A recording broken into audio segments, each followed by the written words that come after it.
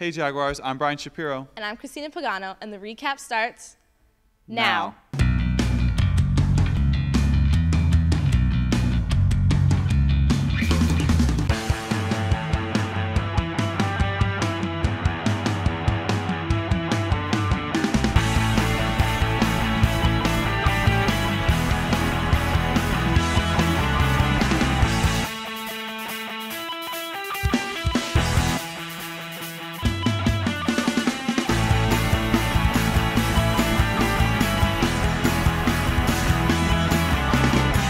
So apparently our school recently hosted an event where a man was attacked by a wild animal. Sounds vicious if you ask me. You mean the Man vs. Beast game? Yep, that one. That's just the name of our big game versus JP Taravella. But no one was injured in the process, Brian. So check it out. Last Friday, the third annual Man vs. Beast game took place at JP Taravella High School. Man vs. Beast uh, for the third year was a success, um, being that we had the opportunity to come together with Taravella High School in a community event. Um, both our PTSOs put on. Um, it was a success. Uh, for the second year in a row, we won, of course. The Beast destroyed the man again. Um, but overall, I think it was a success. Um, each year it grows, it's becoming bigger. Um, this year we added the, uh, the dodgeball at, at, at halftime with the faculty as well as students. So overall, again, I, I feel it was a success. Um, the event keeps getting bigger, and hopefully next year we'll do it again, win again, and it'll become bigger.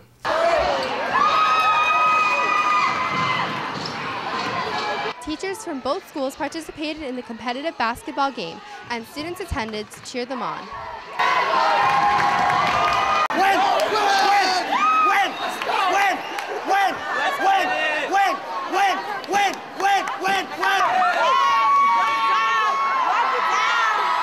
After a hard-fought game, the Jaguars won with a score of 74 to 66.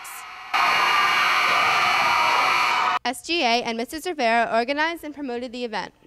Okay, organizing the Man versus Beast was an amazing task because it's been the third year planning it together with a great group of staff members, and I'm so happy at the turnout that we had at Taravella. A dodgeball tournament with students and teachers was held at halftime.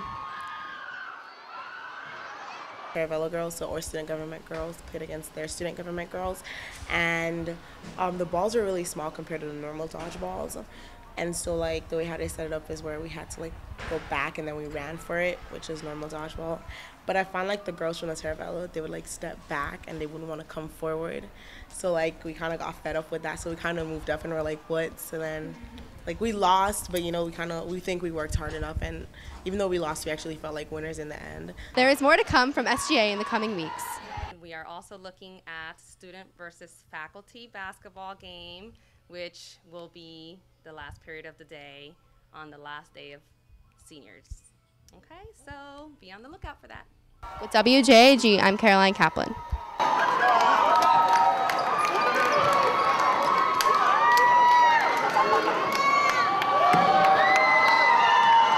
Brian, what can you serve but never eat? Um, I don't know. A volleyball. Check out the story on the boys' outstanding volleyball season. The boys' volleyball season has begun, and the Jaguars are off to a great start. With only one loss against Stoneman Douglas, our team has gone on to win against Monarch, Deerfield Beach, and four other schools. The number four, Doug Levinson, told us about the team. Uh, we're six and one now, which is awesome. Lost to Douglas. We'll beat them next time. They're coming to our home our basically our whole team is made up of seniors. Coach Sailing, she's obviously the best. Like she she led us here. She got us in shape. She got us practicing every day. She she got us here. She's like her mom. The future looks promising for Jaguar volleyball. Make sure to support them against the Trojans this Monday at Taravella High. With enough support, their winning streak might just continue. For WJAG, this is Reenan Tages. Hey Brian, who is the most hated man of the 21st century? Osama bin Laden? No, silly. Mark Weiner. Check out this week's edition of Reverse Question Mark. I don't want to make you look any stupider, so actually, yes, I do. This is Reverse Question Mark. Now I get to ask the questions. Mark, who sang one of the best songs ever called Tainted Love? I was expecting an English question. Like I thought, he doesn't know. I can't memorize the questions. Let me read them off of my phone. What's the worst hockey team in the NHL? The Florida Panthers. The Rangers. What is the capital of Iowa?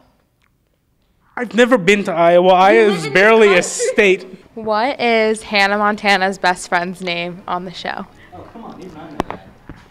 I only watch good television, so I wouldn't know something like that. What is the derivative of 4x? Speak English, please. What are the five current communist nations? Russia? No. No, you're wrong.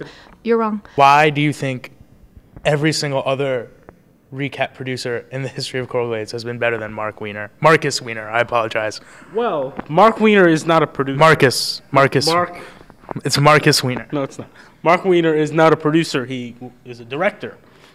Producing director, but a director. A producing director. Yeah. So uh, I made that they're title making up. up titles I'm now.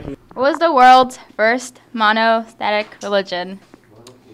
Monotheism. You want to start that over? This is why you're my favorite question mark contestant. What does the acronym NAACP stand for? North American. No? Not even close? It's Um, why are Ivy League colleges called Ivy League? Um because they grow ivy on campus. You're a complete moron. Being that I know that you follow holidays, could you please name the days of Kwanzaa for me? The days of Kwanzaa. They have names? I got them. They have names? Yes. Why? The days of Hanukkah don't have names. I'm just saying. This is sad and embarrassing. At least I got some of your questions right. Who's the highest paid actor in television history? Uh, is it Charlie Sheen? Yeah. He's a winner. Who's the advisor of the Prowl? Uh, Mr. Jonathan Gordon. Okay. He prefers Johnny, not even Mr. Gordon. If you see him around school, call him Johnny. Thank you. A freshman is smarter than Mark Weiner. Not really surprising. Uh, what is the drinking age in Las Vegas? Is it 18? No, it's 21 everywhere. It's 21 everywhere. Say silk five times fast. Silk, silk, silk, silk, silk, silk. Now spell it five times. S I L K, S I L K, S I L K, S I L K. What do cows drink? Milk. They drink water. In case you've ever never seen question mark before, what he does is he asks the question, listens to their answer, and then repeats exactly what they just said. I don't do that. I don't do that. How many New York sports teams shirts do you own? Oh my god, I can't even count that. Who is your favorite English teacher this year? Oh, well, that's an obvious one. Miss Shane. Yay! he, he's correct. Well, Jaguars, that's all we have for this week's edition of the recap. Thanks for watching, and we'll see you next week. Hi ho, hi ho, if home from work we go.